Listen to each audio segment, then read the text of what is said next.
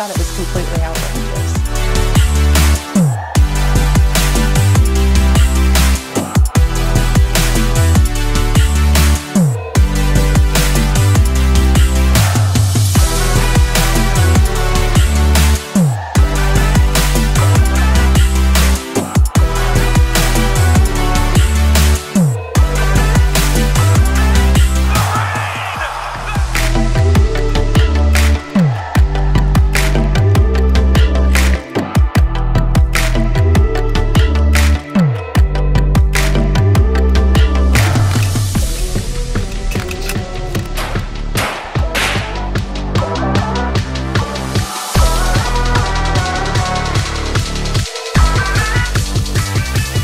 Angry.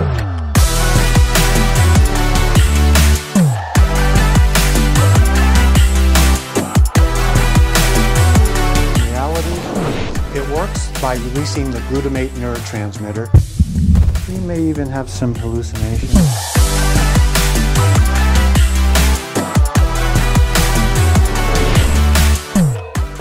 We'll give that a couple minutes. We'll see if that works.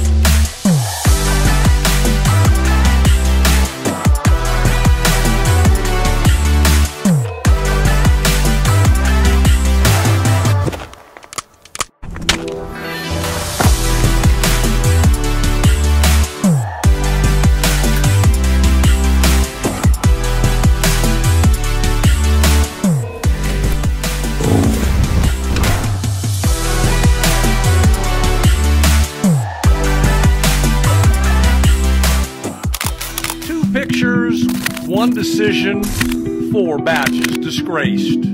We are ashamed, we're sickened, and we're angry. Decisions made in the moment. Decisions that tarnished an image. And they smiled right into the camera, right into the face of his mother, into your face, into mine. Time is up, APD. All of the officers who are involved should be fired. News that dominated Denver's discussion They need to be charged. The police chief called taking those photos a crime against humanity. and spread across the world. Hundreds of protesters demanding justice for Elijah McClain.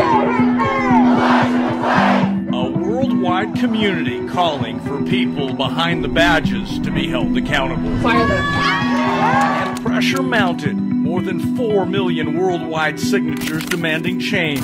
Shame on all of you! And accountability followed. It's reprehensible, and that's why they no longer work here. But the impact of those pictures and that decision now goes beyond the Aurora Police Department, beyond the streets of Aurora, and into this list of felony cases uncovered by Denver 7 Investigates. The industry of true crime is booming. Making money off murder. Like it or not, there's groups of people out here who idolize high profile killers and serial killers. Odds and ends from infamous killers selling online. A healthy chunk of Charles Manson's hair. Letters, artwork, and even a prison badge. Several of them tracking back to Colorado. Christopher Watts here, and you can see some of his letters here. Random items raising disturbing questions. From my perspective, you just shouldn't be able to rob, rape, and murder and then turn around and make a buck off of it.